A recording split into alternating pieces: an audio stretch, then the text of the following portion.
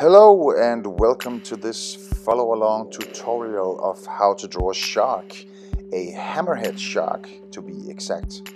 I am using the uh, Draw 50 Sharks, Whales and Other Sea Creatures book by the late great Lee J. Ames as my reference. I would uh, obviously highly recommend uh, getting the book. It's a great book with lots of references in it. But for now, you can just uh, follow along here. You can copy what I do or just get inspired and perhaps just get a little taster of what the book is. And remember that you can pause the video anytime you like, you know, just take your time with it and enjoy the process.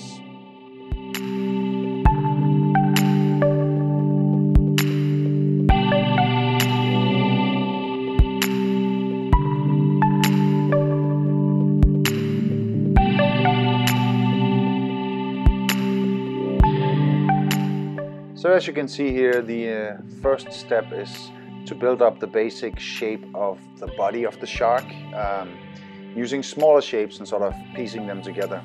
Drawing very lightly as some of these lines will be erased later on and we're still sort of finding our way. Uh, but it's a really effective method of, uh, of uh, sort of finding the basic shape of a drawing and getting the proportions right in the beginning.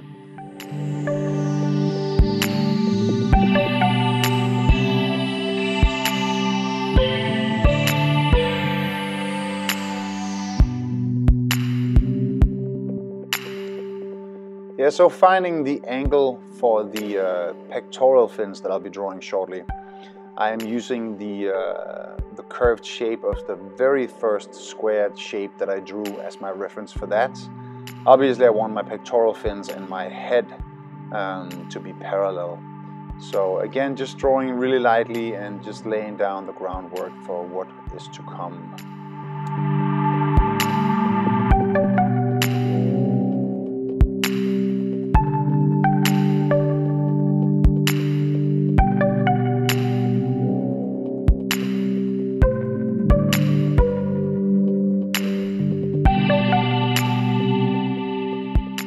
And so these two rounded shapes that I'm drawing here are going to be the building blocks of the head of the shark. So basically the, the hammer of the head, I guess, right? um, and obviously I'm still trying to maintain the uh, angle uh, that I had from the previous line I was doing so that the pectoral fins and the head of the shark will be nice and parallel. This will give some good proportionality to my finished shark, hopefully.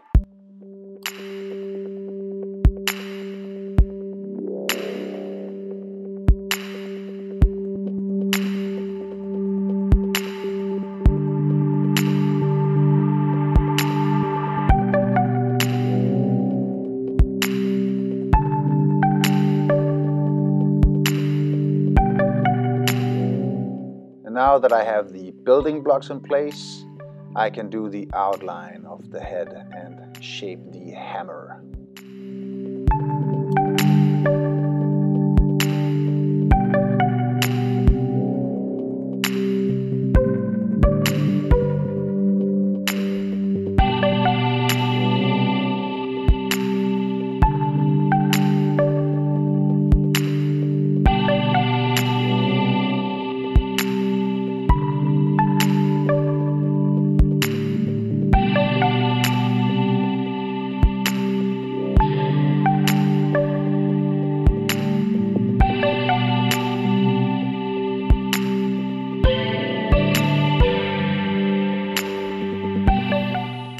back to the uh, line from before and just slowly shaping the pectoral fins. And as you can see, I'm still drawing really lightly and just slowly finding the basic shapes and sort of slowly committing to the lines that you know represent what I want on paper basically.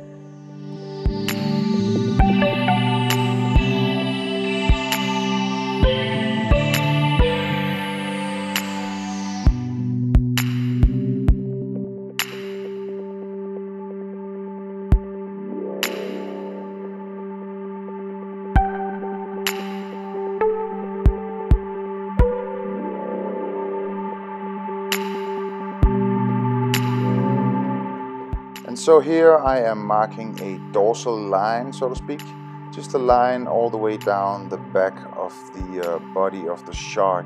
Um, this is not a step from the book, it's just something that I found useful. And it's just an example of how you can add, you can change, you know, you can do what you want basically. It's your drawing, it's your learning experience. So, you know, feel free to do something that makes sense to you.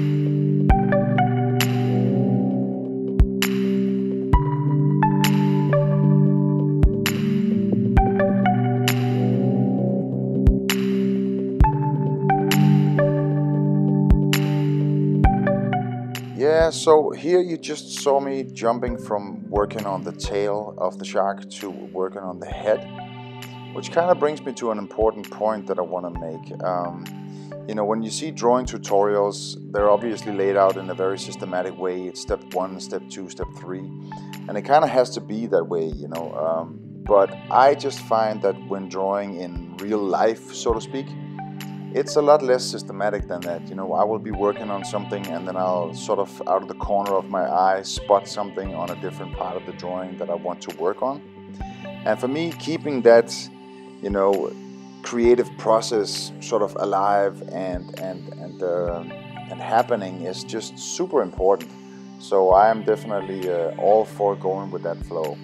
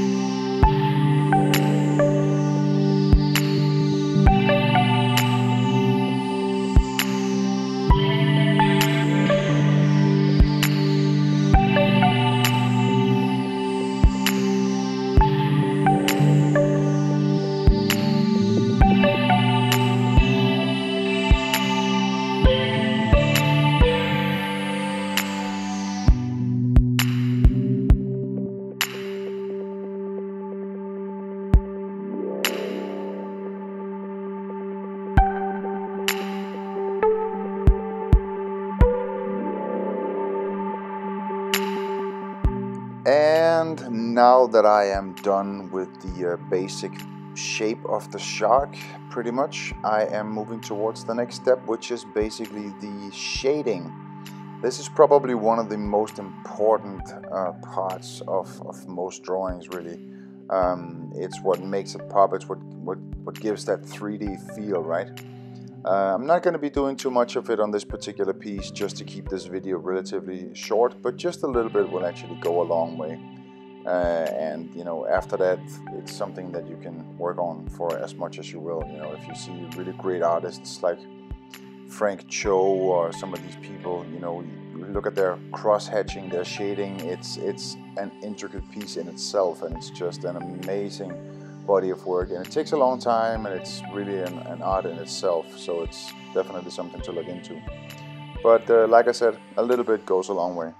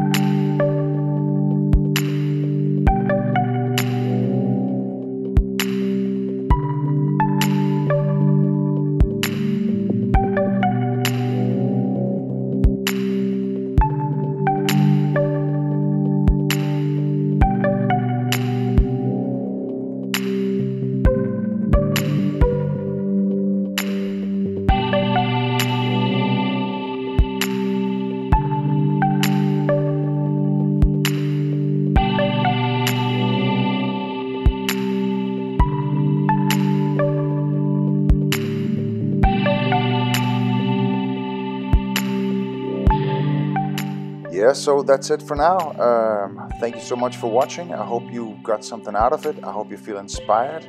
Go draw a shark, draw something else. You know, check out some of the other videos on the channel. Check out my website. Link is in the description, obviously. Um, leave a comment. I'd love to hear from you. That's it. Stay awesome. Keep drawing. Bye.